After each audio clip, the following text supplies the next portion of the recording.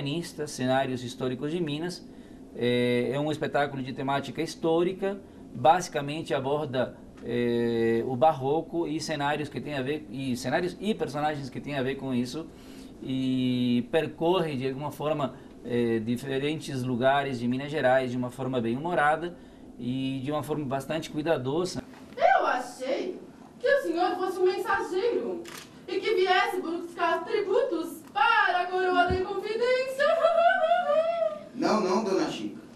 Eu sou um músico e acredito que músicos não devem se envolver com política. Bem, entendo a sua preocupação,